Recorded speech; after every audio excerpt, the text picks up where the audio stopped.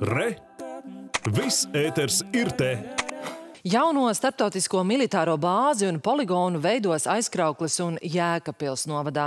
Aizsardzības ministrs skaidroja, ka šī vieta izraudzīta, lai pēc iespējas radītu mazāk nērtību iedzīvotājiem. Turklāt svarīgi, ka tas ir tuvu Lietuvas robežai.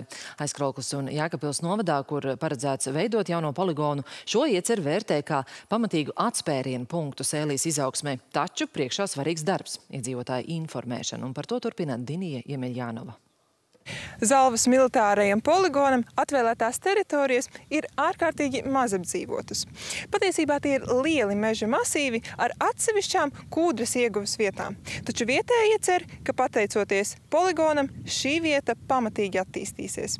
Es domāju, tā pat tiešām ir tāda ārēja spēka dota iespēja šeit attīstīties, iedzīvotājiem iegūstot papildus darba vietas. Viennozīmīgi, ka šāds liels projekts nes līdzi arī nu, tādu grūdienu tautsēmniecībai, jo apkārtējā teritorija tiek piesaistīta kā, nu, kā nodrošinājuma teritorija. Ja? Tā, tā, tā ir gan ēdināšanas, gan dažādas izguldināšanas. Apkārtnē ir vien pāris mazi ciemi, kas robežosies ar poligonu.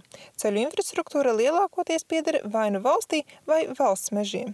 Abās pašvaldībās cer uz jauniem tiltiem. Aizkrauklis novadā uz tādu, kas savienotu Jaunielgavu un Skrīverus, Jēkapilī otru tiltu, kas savienotu abus Daugavas krastus pilsētā.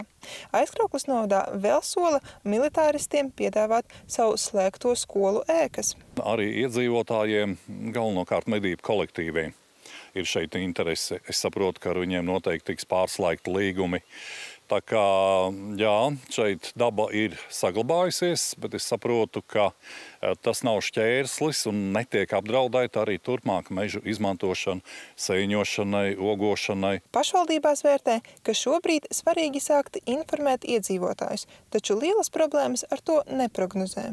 Iedzīvotāji ļoti labi apzinās, kas šodien notiek pasaulē ko tas nozīmē visiem. Ja? Un es domāju, ka šāda stiprināšana, nu, tas ir tāda mazliet drošība arī visam mūsu reģionam. Vēl vietējie precizē, ka lielākā daļa poligonu teritorijas atradīsies vietā, ko šobrīd dēvē par Zalves silu. Dinija Jemļanova, Māris Čusts, Latvijas televīzija.